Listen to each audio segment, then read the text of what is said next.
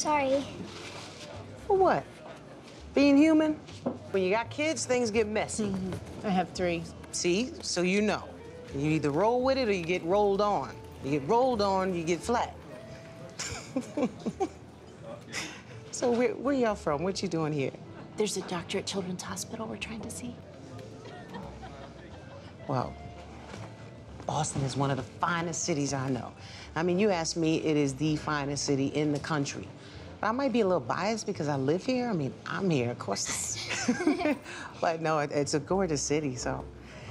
Oh, well, good. Well, maybe we should try to do a tour while we're here, if we have time. Yeah. You know,